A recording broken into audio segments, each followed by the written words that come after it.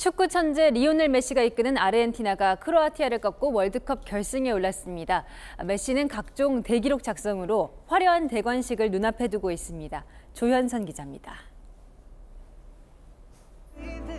알바레스가 얻어낸 페널티킥을 메시가 왼발로 강하게 때려 골망을 흔들어 놓습니다.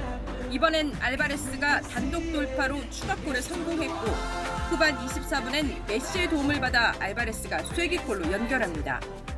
3대 0 완승.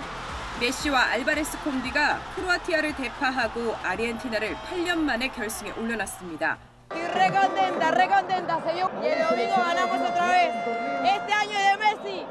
찰떡 케미를 보여준 알바레스와의 인연이 주목받고 있습니다. 알바레스는 2016년만 해도 나의 아이돌 메시의 생일이라며 함께 찍은 사진을 자신의 SNS에 올린 열혈 팬이었습니다. 그 팬이 크로아티아전에서는 골의 기쁨을 함께 나눈 동료로 역사의 한 장면이 됐습니다. 메시는 결승전에서 각종 신기록을 예고하고 있습니다. 2006 독일 월드컵부터 출전해 25경기를 뛴 메시는 결승전에서 신기록을 작성하게 됩니다. 공격 포인트 역시 공동 1위라 골이든 도움이든 단 하나만 추가해도 신기록이 됩니다.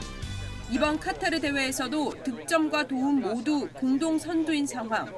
생애 우승을 차지하면 MVP와 득점, 도움 1위를 한꺼번에 달성한 최초의 선수가 됩니다.